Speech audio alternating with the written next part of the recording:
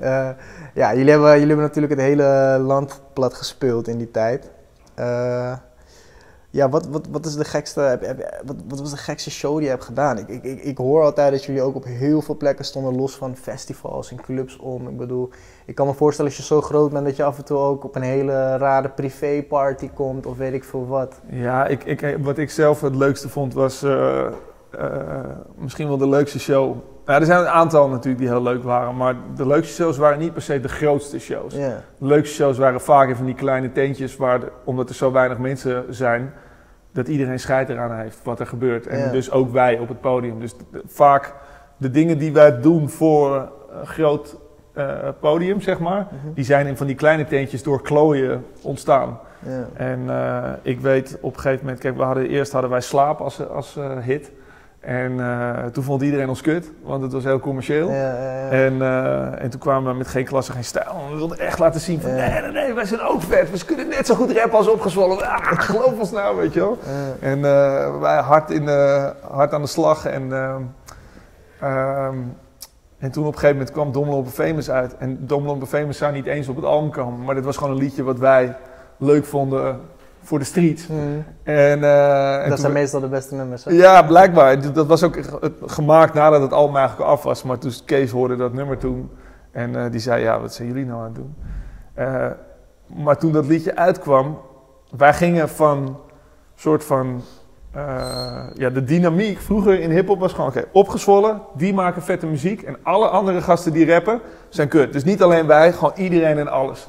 En in één keer sloeg het om naar dat gewoon de, denk ik, de wat jongere generatie, dus onze generatie, op de een of andere manier van alle acts die er waren, gewoon ons kozen. Zo van, ja, dit is het. Dit is, dit is hoe wij ons voelen en waar wij willen partyen en naar de kloten willen gaan. En toen stonden wij dus met, eh met Dommelomp en Famous stonden wij eh, bij, eh ja, Timbuktu heet dat. En dat was een tentje voor 100 man of zo.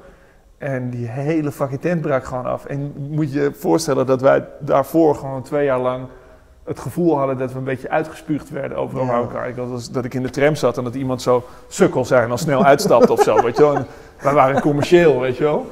En, eh, en dat ging naar dat we soort van, dat je voor het eerst dus live een liedje doet en dat je dus de impact meekrijgt zo van...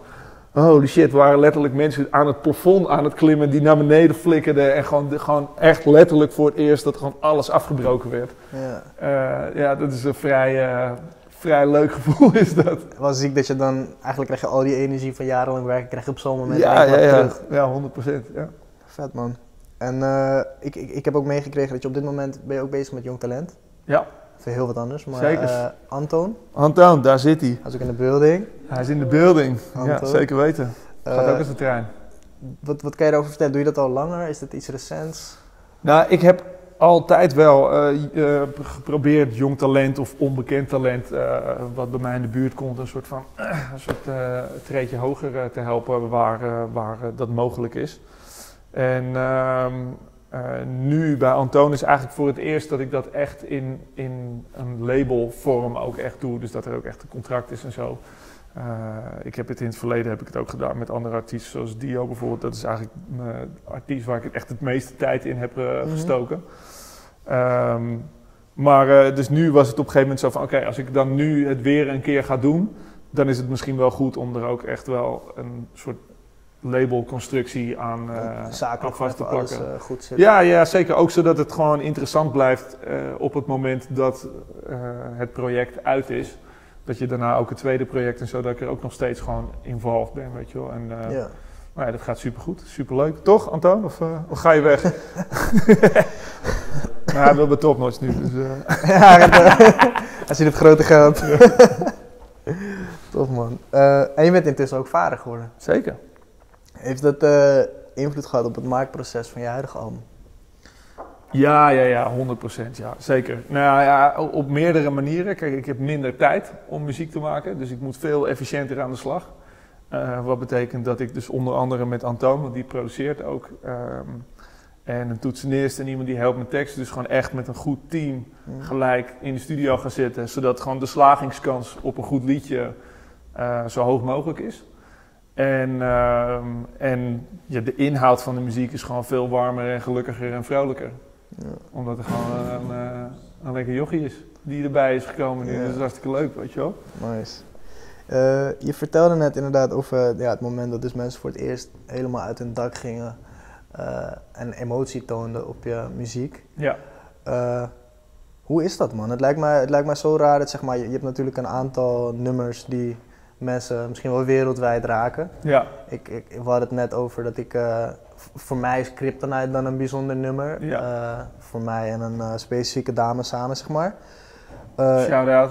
Shout-out naar haar.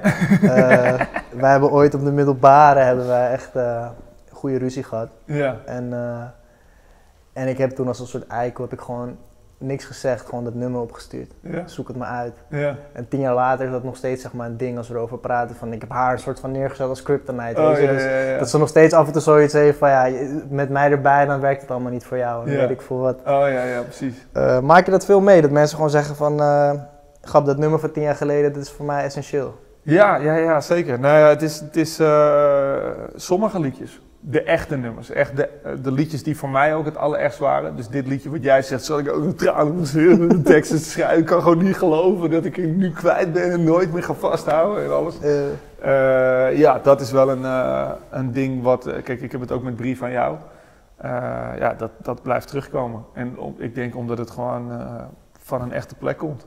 Dus ik heb heel vaak liedjes die ook wel zijdelings over echte situaties gaan, natuurlijk. ja. Maar liedjes die echt, echt, echt eh, de lading eh, pakken, zeg maar. Die op de een of andere manier blijven, die altijd soort langzaam doorleven bij mensen.